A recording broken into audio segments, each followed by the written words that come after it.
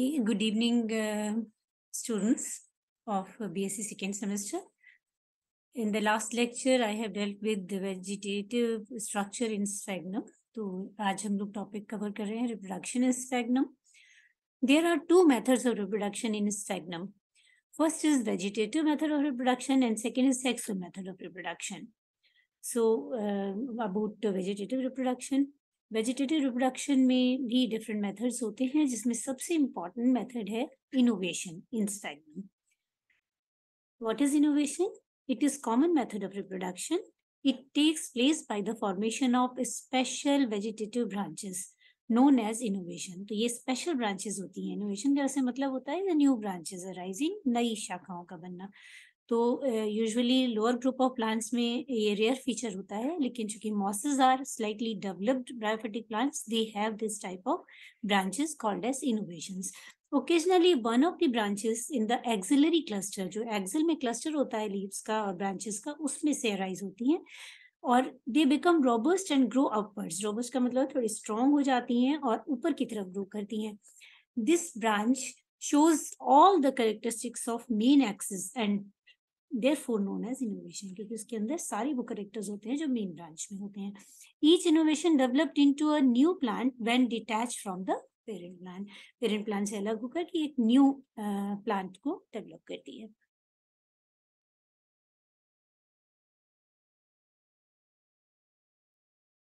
Then the next method of vegetative reproduction is multiplication of protonymal branches. और ये प्रोटोनिमल branches कहाँ से rise होती हैं? Any marginal cell of the primary protonema तो प्राइमरी प्रोटोनिमा जो कि एक थ्रेड लाइक स्ट्रक्चर फॉर्म होता है for developing the gametophytic structure तो उसकी कोई भी मार्जिनल सेल ये मेरिस्टमेटिक हो जाती है विभाजन करने लगती है विभजोतक बन जाती है और एक नए सेलुलर फिलामेंट्स को फॉर्म करती है। In apical portion, it grows into a flat thallus-like green secondary protonema. उसपे एक thallus-like green secondary protonema बनता है, protonema बनता है और marginal cell of secondary protonema forms a leafy gametophyte. तो जो उसकी मार्जिनल सेकेंडरी प्रोटोनिमा की मार्जिनल सेल होती है वो एक नया केमेटोफाइट बनाती है तो this is also type of vegetative reproduction then third is regeneration तो रीजेनरेशन प्लांट्स में एक नॉर्मल कैपेबिलिटी है जो कि रीग्रोथ शो करता है।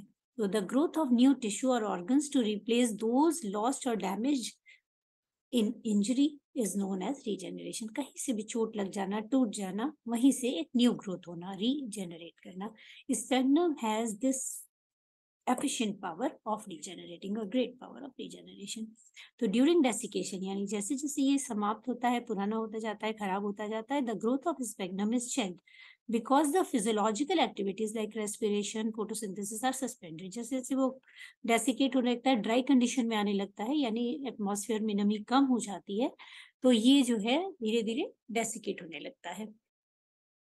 The growth of Sphagnum check हो जाती है उसकी सारी एक्टिविटीज़ लाइक रेस्पिरेशन फोटोसिंथेसिस रुक जाती हैं या चेक्ड हो जाती हैं but the cytoplasm shows a high degree of resistance to desiccation लेकिन साइटोप्लाज्म ड्राई कंडीशन में भी जीवित रहता है।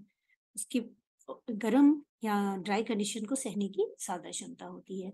व्हेन वाटर इज़ अवेलेबल जब वाटर मिल जाता है इसको यानी again the normal rainy season comes the normal activities resumed और नॉर्मल ग्रोथ होने लगती है, यानी फिर वो ग्रीन हो जाता है लीफी प्लांट जो है दैट बिकम्स ग्रीन तो ऐसे पौधे जिनमें ये कैपेबिलिटी होती है ड्राई कंडीशन में जीवित रहने की और कई कई साल तक जीवित रहने की और फिर वाटर कंटेंट मिल जाने पर या नॉर्मल रेनी सीज़न आने पर ये फिर ग्रोथ करते हैं तो ऐसे प्लांट्स को पेलेक्यो फाइट्स कहते हैं right it has been given by book in 1947 Now come to the second type of reproduction that is sexual reproduction.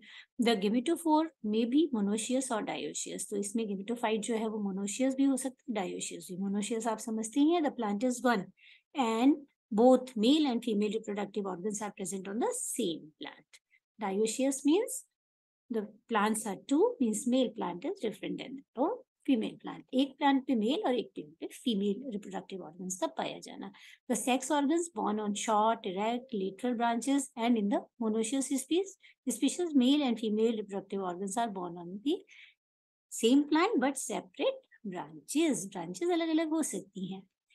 अब दो तरह की रिप्रोडक्टिव ऑर्गन्स हैं एंथ्रीडिया एंड आर्किगोनियास तो पहले हम लोग डील करते हैं antheridia the antheridia are developed in acropetal succession in the axil of the leaves of antheridial branch. The antheridial branches are readily distinguished from the archegonial branch. तो ये दोनों branches अलग अलग होती हैं और वो पेल कलर की होती है है ना? अगर हम मेल ब्रांच को फीमेल ब्रांच यानी एंथ्रीडियल को आर्किगोनियल से अलग करें तो ये पेल ग्रीन और पेल कलर की होती है। एक्रोपिटल सक्सेशन क्या होता है? यहाँ मैंने टर्म को येलो ब्लू से किया है। एक्रोपिटल का मतलब होता है नीचे से ऊपर की तरफ़ डेवलपमेंट होना टुवर्ड्स द एपेक्स तो नीचे की तरफ़ मेच्योर एंथ्रीडिया और ऊपर की तरफ़ इमेच्योर और यंग एंथ्रीडिया डेवलप होंगी इसको हम एक्रोपिटल सक्सेशन कहते हैं और डेवलपमेंट का पैटर्न है। मेच्योर एंथ्रीडियम का स्ट्रक्चर कैसे होता है? ग्लोबोस ग्लोब लाइक और सब ग्लोबोस थोड़ा सा elliptical with two cell thick long stalk जो स्टॉक है, इसका नीचे व्रंत होता है, वो टू सेल थिक होता है। The jacket of antheridium is one layer antheridium के चारों तरफ़ एक जैकेट लेयर होती है which is sterile which is one layered only. लगभग ब्रायोफिटिक प्लांट्स में कॉमन फीचर है सिमिलर स्ट्रक्चर पाया जाता है। The antherozoids are liberated by rupture of the antheridial jacket जब एंथ्रीडियल जैकेट पे प्रेशर पड़ता है, फट जाती है, तब इसमें से एंथीरोजॉइड्स और बेल गैमेट्स बाहर निकल आते हैं लिबरेट हो जाती हैं। जो एंथीरोजॉइड्स हैं या मेल गैमेट्स हैं these are biflagellate spirally coiled and elongated structure थोड़े से लंबे होते हैं। You can see here this is antheridial branch है ना? एंथ्रीडियल ब्रांचेस है। और लोअर एंड पे आर्किगोनियल ये ऊपर की तरफ़ एंथ्रीडियल देखिए कॉम्पैक्ट इलोंगेटेड स्ट्रक्चर दिखाई दे रहा है वन टू थ्री फोर तो दीज आर एंथ्रीडियल ब्रांच और लोअर की तरफ़ चलते जाएँ तो यहाँ आर्किगोनिया बेयर करने वाली आर्किगोनियल और फीमेल ब्रांचेस होती हैं। अगर हम मेल ब्रांच या एंथ्रीडियल ब्रांच की बात करें तो ये हमने अगर सेपरेट किया है तो ये इस तरह से दिखाई देता है। ओवरलैप्ड लीफी स्ट्रक्चर्स है ना? ये जो ओवरलैप कर रहे हैं बट कॉम्पैक्ट हो जाते हैं। नॉर्मल में ये दूर दूर है ब्रांचेस में जो वेजिटेटिव है, लेकिन जब ये कॉम्पैक्ट हो जाते हैं और मेल गेमेट फॉर्म में एंथ्रीडिया बियर करते हैं तो ये इस तरह के दिखाई देते हैं कॉम्पैक्ट अगर हम इसको लॉन्गिट्यूडल सेक्शन में काटें तो ये जो है, ये पेरिकिटियल लीव्स हैं, है ना? ये लीव्स हैं, इनके बीच बीच में एंथ्रीडिया है, ये टू सेल लॉन्ग इसकी स्टॉक है ग्लोबोज और सब ग्लोबोज स्ट्रक्चर है और इसमें ये क्या है? These are androcytes androcytes antherozoid forming cells और ये इसका रप्चरिंग शो किया गया है इसमें. डेसेंस ऑफ़ एंथ्रीडियम ये बाहर रप्चर कर देता है इसकी जैकेट को. ये जैकेट लेयर है सिंगल लेयर जैकेट रप्चर हो जाती है और एंथीरोसाइड्स जो बाइफ्लैजिलेटेड उनको स्पर्मेटो स्पर्मेटोजॉइड्स भी कह सकते हैं मेल गैमिट्स भी कह सकते हैं एंथीरोसाइड भी कह सकते हैं। तो ये स्ट्रक्चर है स्टेगनम का एंथ्रीडियम और antheridial branch with antheridium and antherozoids now come to the second reproductive part that is archegonium the archegonia are borne at the apices of the archegonial branch अभी हम लोगों ने डायग्राम देखा था कि वो आर्किगोनियल ब्रांच में लोअर एंड पे ब्रांचेस के आर्किगोनिया प्रेजेंट होती हैं। Usually there are three archegonia at the apex of each branch अभी मैं डायग्रामेटिकली बताऊँगी। तो तीन होती हैं आर्किगोनिया एपेक्स के ब्रांच के। और mature archegonium is relatively large with stalk a long neck and a massive venter देख रहे हैं आर्किगोनियम का स्ट्रक्चर तो स्टॉक है लार्ज स्टॉक लॉन्ग नेक होती है और एक मैसिव वेंटर यानी बॉडी होती है इसकी लोअर साइड में। Neck contain several neck canal cell जो नेक है, जैसे सुराही की गर्दन होती है, उसके अंदर फ़ील्ड सेल्स को हम नेक सेल्स कहते हैं। तो several neck cells six to eight neck cells generally पाई जाती हैं ब्रायोफिटिक प्लांट्स में। Whereas the venter contains one venter canal cell and an egg लेकिन जो नीचे का बॉडी होती है, इसको वेंटर कहते हैं। उसमें एक सिंगल वेंटर कैनाल सेल जो कि कैनाल नेक कैनाल के जस्ट नीचे होती है। और नीचे की तरफ़ एक सिंगल एग सेल होती है the gametic union takes place during spring जब भी मेल गैमेट फीमेल गैमेट से फ्यूजन करता है, यानी मेल और फीमेल गैमेट का यूनियन होता है, तब ये यूजुअली स्प्रिंग सीज़न होता है, यानी बसंत ऋतु के आसपास। The liberated antherozoids swim towards the mature archegonium जो एंथीरोजॉइड अभी फटन से बाहर निकले थे, फटने से एंथ्रीडियम के, वो आर्किगोनियम की तरफ़ मूव करते हैं, क्योंकि कैसे होते हैं? बाईफ्लैजिलेट होते हैं। They move with the help of water droplet इसलिए water is essential for reproduction और for fertilization in these plants mean neck canal cell और वेंटर कैनाल सेल डिसइंटीग्रेट ये सिमिलर प्रोसेस है। मेल जब मेल गैमिट एंटर होता है या पहुँचता है आर्किगोनियल लिड सेल्स में, उस समय degeneration of neck canal cell और वेंटर कैनाल सेल स्टार्ट हो जाता है और उसकी डिसइंटीग्रेट होने से ही वो कैनाल ओपन हो जाती है। और जो डिसइंटीग्रेशन फ्लूड है म्यूसिलेजिनस मास बाहर निकल आता है एंथीरोजॉइड उस पर स्टिक करते हैं और धीरे धीरे वो नेक कैनाल सेल के थ्रू एंट्री लेकर के एग तक पहुँचते हैं। Finally only one antherozoid swim inside the archegonium and fertilizes egg बहुत सारे एंटर करते हैं, लेकिन वन रीच करके एग तक फर्टिलाइजेशन करता है। The fertilization of an ovum by the venter canal nucleus has also been reported in number of cases कभी कभी क्या होता है वेंटर कैनाल न्यूक्लियस भी मिसलीड करके उससे भी फ्यूजन हो जाता है। तो ये रेयर केस है। The fertilized egg surrounds itself by a wall forming oospore अब जो फर्टिलाइज्ड एग है, उसको हम ओस्पोर कहते हैं। वो चारों तरफ़ वॉल से क्रिएट करके थिकिंड हो जाती है वॉल उसकी।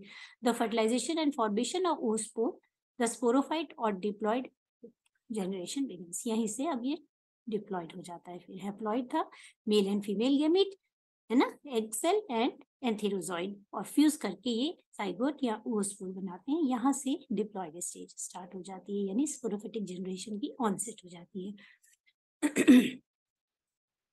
अब नेक्स्ट है इसमें। यू कैन सी हेयर है ना? सेक्सुअल रिप्रोडक्शन का। ये एलिस ऑफ़ आर्किगोनियल ब्रांच शो हुई है। मैंने बताया था टू टू थ्री और generally three archegonia are present they are covered by they are covered by perichaetial leaves जो चारों तरफ़ है पेरिगोनियल पेरिकिटियल लीव्स प्रेजेंट होती हैं, जो कवर करती हैं। कोई these are sterile structures like general leaves ये इसमें डेवलपमेंट हो रहा है तो प्राइमरी एंड सेकेंडरी आर्किगोनियम पहली आर्किगोनियम प्राइमरी और उसके लेटरल साइड में डेवलपमेंट सेकेंडरी शो करता है। बीच बीच में पैराफाइसिस होती हैं। और बाकी नहीं, बाकी जहाँ डेवलपमेंट है, वो बस इतना ही होता है कि थ्री मेच्योर हो जाती हैं और बाकी डिजेनरेट कर जाती हैं। यहाँ पे और क्लियर स्ट्रक्चर दिखाया है इसने। नेक ये ऊपर लिड सेल है आर्किगोनियम की ये नेक है नेक के अंदर नेक कैनाल सेल वेंटर में वेंटर कैनाल सेल जो ब्लैकिश दिखाई है और ये एग इसको और डिटेल अगर हम क्लियरली देखें, एक आर्किगोनियम लगभग ब्रायोफिटिक प्लांट्स में सिमिलर स्ट्रक्चर होता है, अगर एग्ज़ाम में क्वेश्चन आ जाए archegonium of bryophyte so you can make this diagram इसको डिस्क्राइब करेंगे शॉर्ट आंसर तैयार हो जाएगा आपका। तो ये इसमें तीन पार्ट्स हैं। तीन पार्ट्स का मतलब cover cell neck and venter चारों तरफ़ ये गेमेटोफिटिक टिश्यू से कवर्ड है। कवर सेल चार होती है नंबर में। नेक सेल्स, ये जो बाहर की तरफ़ गर्दन बनाती हैं these are neck cells these are four to eight in number in four to six tiers यानी टायर होते हैं, जैसे चारों तरफ़ गर्द सुराई की गर्दन होती है, बीच में कोकली होती है तो जो गर्दन है वो नेक सेल से बनी होती है। और बीच में फिल्ड होती है नेक कैनाल सेल्स विच में भी six to eight in number और ये वेंटर वाले रीजन में जो कि बॉडी कहलाती है। इसके चारों तरफ़ भी जैकेट होती है वो स्टराइल जैकेट होती है। ऊपर की साइड में एक ट्रायंगुलर सेल होती है, जिसको वेंटर कैनाल सेल कहते हैं लोअर साइड में एग वेंटर के पाया जाता है। ये पूरा हेप्लॉइड स्ट्रक्चर है gametophytic structure now come to the development of sporophyte तो जो वो स्पोर बना, वो आगे चल करके सेवरल ट्रांसफर्स डिवीज़न करता है पेरिक्लाइनल डिवीज़न करता है, और क्या बनाता है? Sporophyte means the sporophyte which is dependent upon the gametophyte archegonium में ही डेवलप होता है और वहीं से फिर बाहर निकल आता है, चूँकि mosses are develop plants the उस, वो spore by repeated transverse division form filamentous embryo तो ये पहले डिवीज़न के बाद एम्ब्रियो बनाता है। और हमने पढ़ाई है क्योंकि ये प्लांट्स एम्ब्रियो फाइटा में आते हैं, क्योंकि ये पहले प्लांट्स है जिनमें एम्ब्रियो फॉर्मेशन स्टार्ट हुआ। The capsule develop form upper portion of the filamentous embryo the seta and the foot from the submedian region and the haustorium from the lowermost portion. तो इसका मतलब तीन पार्ट्स जो बनते हैं इसकी कैप्सूल के, वो फिलामेंटस एम्ब्रियो से डेवलप होते हैं। Foot seta and capsule the haustorium helps in the absorption of nutrients जो लोअर पोर्शन हॉस्टोरियम बनाता है, वो हेल्प करता है एब्जॉर्प्शन में। कहाँ से? गेमेटोफिटिक टिश्यू से, क्योंकि डिपेंडेंट होता है। और उसके बाद जो स्पोरोफाइट का जो अपर पोर्शन है वो बाहर उस इजेक्ट होकर के निकल आता है रेमर्ज हो जाता है बाहर की तरफ़। The foot and seta are rudimentary, इसमें जनरली फूट और सीटा छोटे पाए जाते हैं स्पेगनम में। The by successive cell division, the capsular portion of the filamentous embryo forms a massive structure. जो अपर पोर्शन है वो एम्ब्रियो का, that forms a mass like structure developed into the capsule. इसमें पेरिक्लाइनल डिवीज़न होते हैं outer layer और inner layer बनती है। आउटर लेयर को एम्फिथीसियम कहते हैं और इनर को एंडोथीसियम कहते हैं।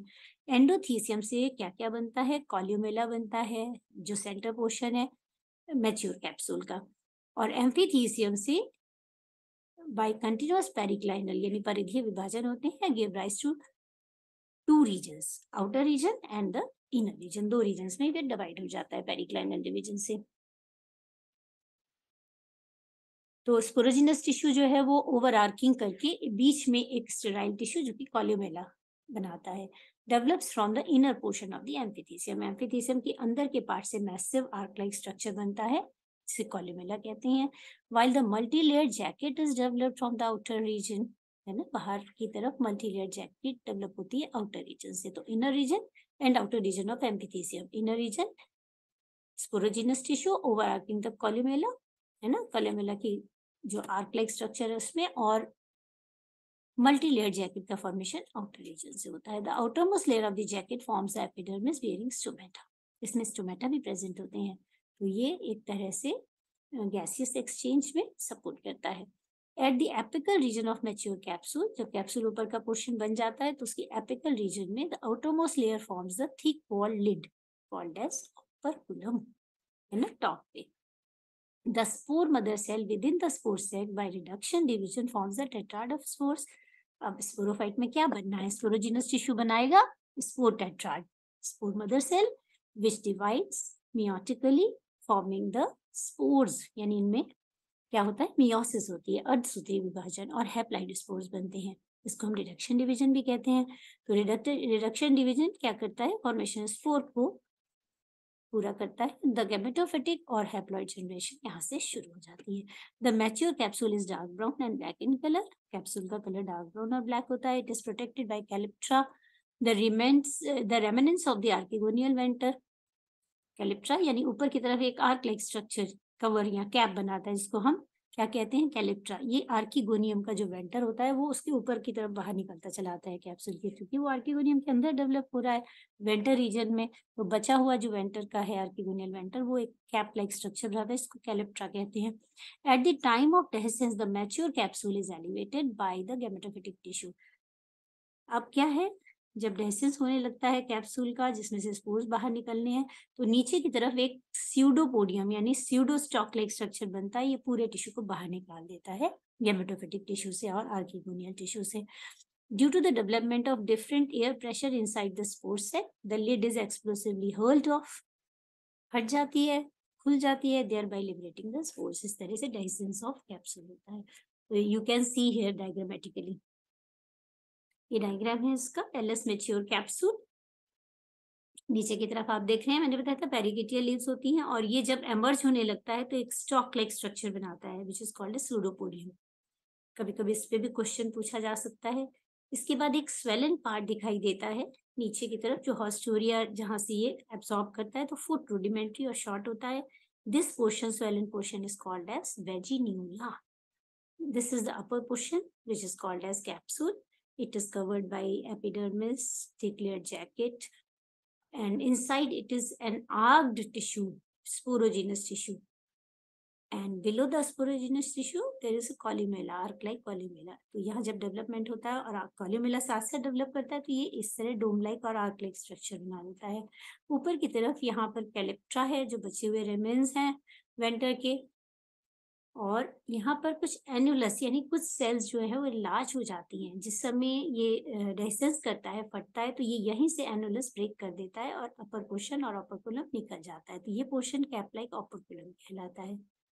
स्पोर सेक में sporogenous mass of tissue which develops into spore mother cell spore mother cell से मियोसिस के कारण बनती है हैप्लॉइड स्पोर्स राइट तो ये इसका स्ट्रक्चर है और इंपॉर्टेंट है एलएस मेच्योर स्पोरोगोनियम एग्ज़ाम के लिए रेस्ट मेच्योर कैप्सूल ऑफ़ स्पेक्ट ये इसका इनिशियल स्ट्रक्चर है, ये इतने पार्ट्स में डिवाइडेड है पेरिकिटियल लोअर पोर्शन पे ये एलएस में शो किया है है ना? इसी का ये एक्सटर्नल व्यू है और ये सूडोपोडियम की वजह से बाहर निकल आता है स्पोरोगोनियम और कहना चाहिए स्पोर कैप्सूल